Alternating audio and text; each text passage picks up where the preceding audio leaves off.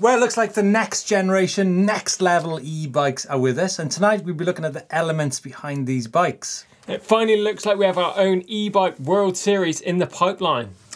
And Chris, what's this about e bikes being bad for your health? I read what that. a load of nonsense.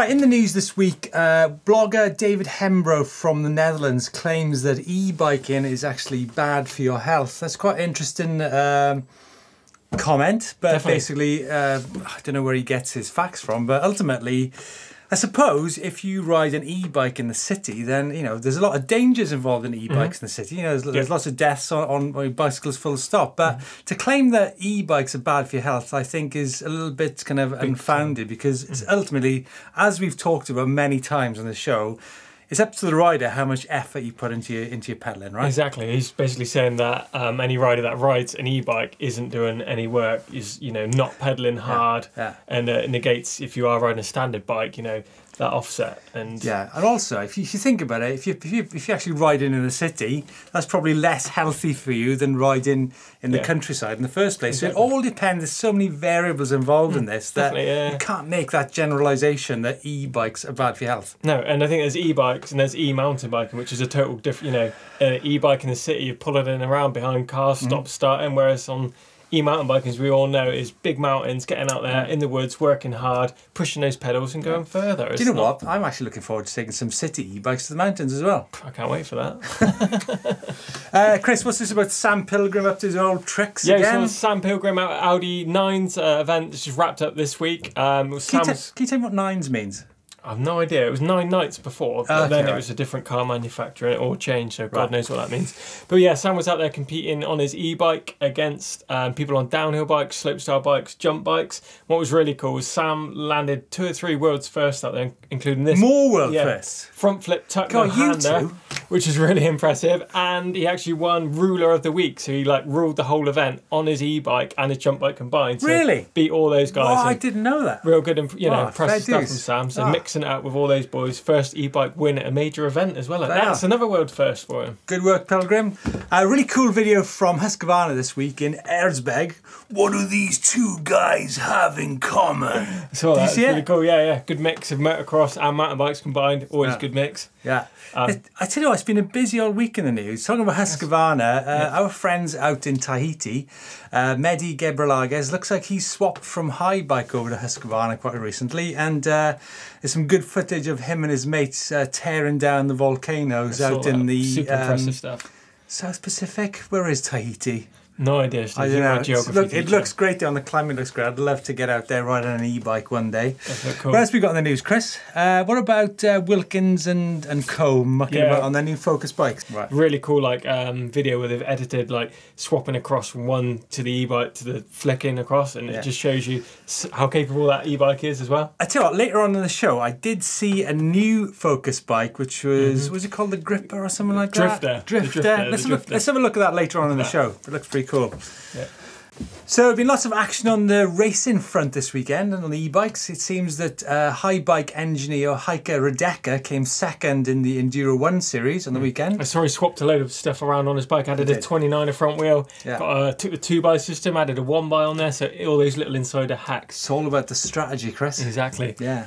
Also on the racing front, we've got the Boogaloo race series going on out in the States. Big four race class one e-bike series. Yeah. And we've got the Mammoth Mountain uh, Yeah. stage. So it was North. Star on the weekend, right? North Star at the weekend. So this is uh, like a Troy Lee Designs and Bosch Some collaboration. big sponsors in there. Yeah, it looks There is, really yeah. good fun. All big Uh, uphill climbs, downhill Are, sections. you- are you heading over to Mammoth this weekend, then, Chris? Unfortunately not. Are you over there or not? Uh, it's a bit weird, Mammoth Mountain.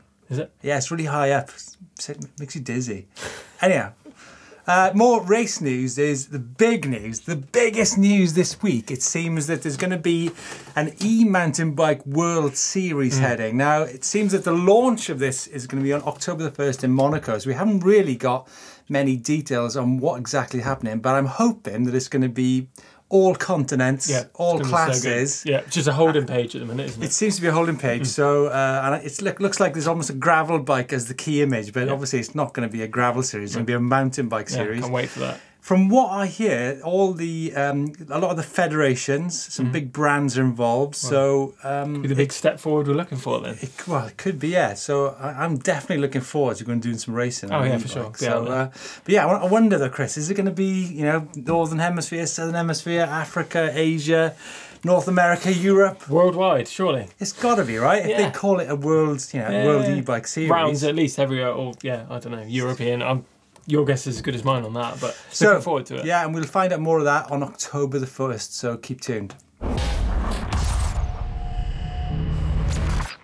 So, Steve, isn't there even more important news we should be talking about, right? There's a big new bike come out. There is more important news. Sadly, Philip is leaving at the end of this Ah, week. I did hear that. and um, honestly, you know, it's been had a great some great times, and um, I think we Phil, need a little montage for this, don't we? Phil, Surely? thanks, thanks for thanks for putting up with me over the months. But um, hey, we'll have a couple of beers at the end of the week, right? Say it was easy. Moving on to more bike-related Bigger, on, news. Bike, specialise, bike-related specialise news, in the new Levo, right? right? Talk to me about it. Come on. What do you want? What, what, do you want to know, Christopher? I want to know: is it better than the old Levo? Is it better than the old Levo? Well, I mean that's all relative, isn't it? If you think about it, there's some very basic things. It's um, it's thinner and it's lighter. Those are Mm-hmm. Two, you know. So, How much lighter? Um, so basically, you're looking at 19 and a half kilos Whoa. for one of the S Works bikes. But like Yeah. visually, so the battery's now in the down tube. You know, it doesn't detach or anything. And. Yeah. that, if you look side on of the bike, it is so skinny, so slim. Mm-hmm. Looks amazing. Hard to hard to differentiate between the e-bike from Yeah. a non-e-bike. Brilliant. And you know, you're asking, is it better? So 700 watt hour battery. Bigger is battery. that better? For sure. More range. Well, I yeah, it, it kind of is. I, I like to do more riding, but maybe for some riders who go out for an hour, maybe it's not so good. But Yeah. from I think from seven hundred watt hours, it's massive. more is yeah definitely better from those bikes. Um, sizing, you know, there's better sizing on it. So you know, reach now for uh, extra large riders up to sort of four eighty five, I think. They've redone the motor. It's a different version of the motor. Yeah, the motor is lighter Mm-hmm. and it's more, it's twenty percent more, twenty percent smaller. So that means that you know, the whole thing is visually more compact. Um, More power? They've got more power in it, and also there's it's it's not just about the motor and the batteries, how the motor, the battery, and the controls operate together. How, Right. how so remember it's.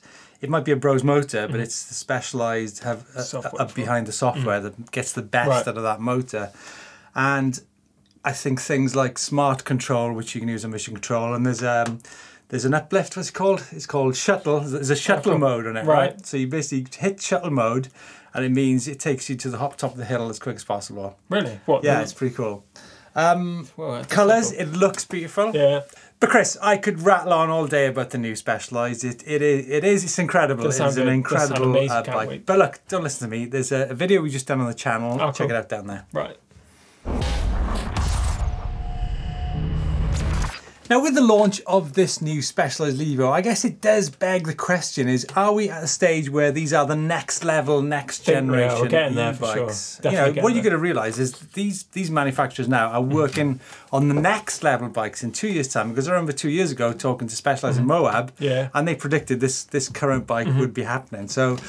But look, you're going to look at the last few years. There's been some great stuff, like Yeah. the Focus, um, the Focus Jam with the thin down tube. You know, good. visually looks really good, Yeah. even, even though the battery's kind of small. Yeah. Then you've got the Merida, you've got the, you've got the. Moustache. Yeah. Bikes with really good componentry. And obviously moving um, forward towards this year, we had the Canyon with a different size wheel. That was really progressive. Obviously, that was super lightweight as well. Mm. Yeah. That shaved quite a few But, kilos. al- but off, also, you know, that was the first ever direct sales e-bike, yeah, of course, that changed it a hell of a lot as well. And then there's Eurobike.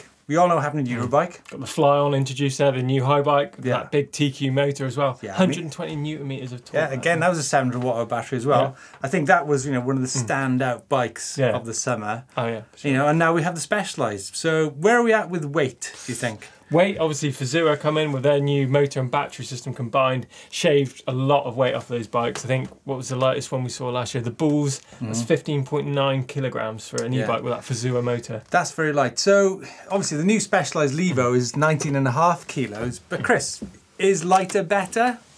Is heavier better? What, what, what's your thoughts on that? I think we could maybe lose two two kilos from where we are at the minute, but I wouldn't want to see like super lightweight back to where we are with the normal what do you reckon bikes. the optimum e-bike weight is? Mm. 22 kilos, something like that, I reckon. Hold on a minute. Two kilos lighter than we are. Oh, no, hold on. The Specialized is 19 and a half kilos. What are you talking about? Don't know. Honestly, I'm, I'm going to reserve judgment. It's not hit the trails on that.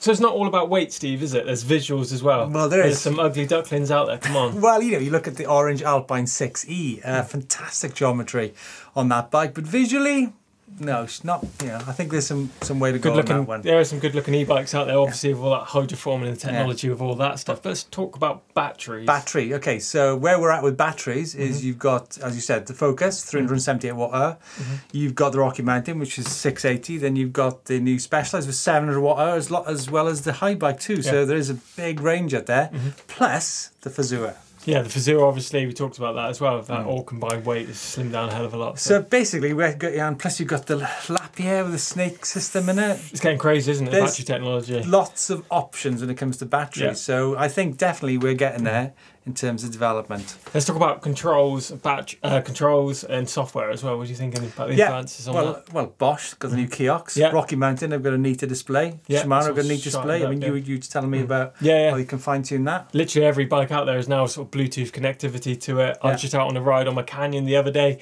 had a motor update before I left, installed it in about five minutes. So Yeah. gone are the days where we have to go to a dealer to get that Yeah. update. And I think bottom line, you can now actually choose Mm. to go with uh, a display uh, orientated bike or one with nothing at all, like, Mm. Exactly. like the Specialized. You can go totally stealth. So the choice is pretty much yours. So next generation, next level e-bikes. Yeah, it'd be really good to hear what you think that are the big advances in e-bike technology. Drop them in the comments below. We'll see what's going on. And if that's not enough tech for you, uh, check out this new colorway by Focus. It's the it's the Drifter, Sweet, right? isn't it? Yeah, look at the tan really? walls and stuff on that. Does The what? The tan wall tyres. Tan wall tires. Yeah. They look like gum wall tires. Tan they? wall. Oh, tan wall, right? Okay. It's a new school, I'm gonna get my tech right, I think. But yeah, look, nice looking bike, right, Chris? Does look good, yeah, really good. I've got that tech option on there, obviously for that bigger battery like we Mm. talked about earlier. It's all about the paint job, though, right? Paint job and the, the gum walls, is it? Gum walls. That's right, Grandad.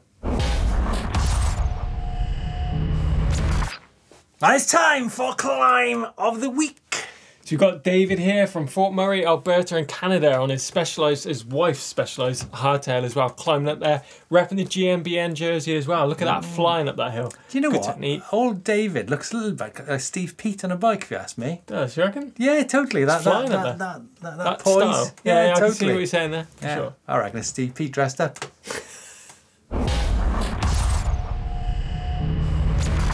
it's time for Where in the World? What have we got this week, Steve? I've got plastic globe, Chris. As always, let's give it a spin. Plastic globe. Where are we going? We are going to Santa Clarita in California and some evening action from Sam and his Haibike, right?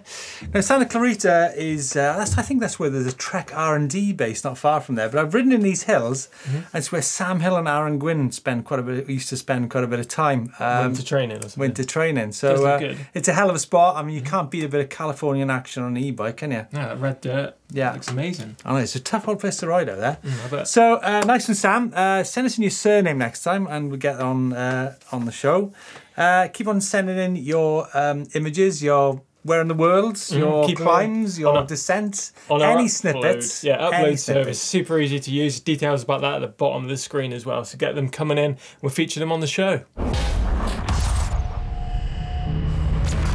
All right, crew, it's time for a bit of ghetto tech. And this week, something that really sort your life out. This is from Matt, right, boss? That's right. We got Matt sent this in. Obviously, a problem with a lot of e-bikes is mounting that water bottle. But look what Matt has come up with on this. So what I've done is use these flexible clips to attach it to the frame. Big problem is the frame of the Z-Bop is really angular, so the thing wants to slip round all the time. So all I've done, two bits of high density foam, about 30 mil square, rammed them in and then tighten the clips up. Perfect, takes the shape of the frame and your bottle stays fixed to the top of the frame, ready for you to sort your life out with. It's looking good. I really like it. I really, really like this idea. I think it's a bit of uh, original thinking. I've never seen it before. And for me, it tick, ticks all the right boxes, to be honest. yeah, it does look pretty good. It just looks a bit too close to that stem to pull the bottle out, but Bottom line, sorts your life out. it does. Chris, let's not forget uh, do, do a bit of shopping this week. Seems like you've got a bit of an old school top Yeah, on there. keeping it Get- retro, get a bit of old get, get some fresh. new one, no. And I noticed there's some comments on last week's show. You did. uh, You've obviously found you found the iron. No, this this is box fresh actually. Ah, nice. Right. Yeah. Don't forget to check the shop out for um, all those winter bobble caps and Bubble caps, or whatever they're called. beanies, granddad. Beanies. Come on. yeah, we got a whole new range in there. It's these nice new t-shirts. Got beanies, got hoodies, sweatshirts. What else we got? what we have got is the bike vault. Oh, let's get into it. Right, come on, Grandad. What we got? We got Jeff sent in this Rocky Mountain altitude power play. He's from Haywigan, Not High Wigan. not Highwigan. That's not in uh, Lancashire then. No. Um, purchased my e-bike after watching your show since the start. So Yeah. cheers to that. Right. Mono well, bike. That's got me thinking, where on earth, where this should be where in the world? Where in the world is Hay Wigan? It's a super nice, it's a great bike. It is nice. Can I just scoop some nice? Yeah, definitely. Move it on. Scott, uh, we've got Christian, Christian in the woods. Where is he? South Sand, Sand Village. Mm-hmm. Where's that then? Squirrel. Skrill, Skrill, Skrilly South Sand Village. Scotland. Again, some Scotland, brilliant sure. locations this week. It's got to be super nice, right? Loving that as well. Yeah, Yes. Ooh, Oh, that gum is nice. walls. Look at the gum walls. Look at the come walls. on, tan wall. Trek Powerfly 9, Finland. These look good. Just Yeah. sold his old super nice. He's had a super nice before, but he thinks you know this one that? is nice because he said in his description. But that is super nice. Yeah, I, really I, nice. I remember this bike, uh, Marco. Uh, look at those grips and yeah, super nice, right? Get on it, yeah. Yeah. Well, nice Kenevo there from Bran. On the rocks, Lord of the Squirrels loop. Where's my? I mean, come on, did you actually pick these out deliberately? Lord of the Squirrels Loop. Really? Yeah. There's, there's only one way that's going. Super nice. 50th ride of the season as well. So Whoa. getting those miles. Lord of the Squirrels Loop. Philip, what's your thoughts on that? Oh, I'd be sad to see you go, Phil. Do you know what I mean? So you got Daryl sent in his giant full E from Gypsum in Colorado. Yeah. New e-bike, 20 mile ride with 2,000. Gypsum. That's I've seen that word. That's that's where cement comes from, right? Sealings, isn't it? Is Oh, is it sealant? Something like okay, that. right. Um, he's Beautiful 70, colours. 73 years old and could not do this on his old mountain bike. So he's Right. getting out there, 73 years old. Yeah, Daryl, like- you just be careful out in those hills. Right. Give super nice. super super nice. nice. We've got a record going on. Oh, Yeah. your favourite, the Yeah, orange, orange. Alpine, uh, the orange 6E. Contentious. 6E or not? Yeah, Llyn Alwen Hill. Obviously, it's in Welsh territory. I'm not sure I can give that super nice. No?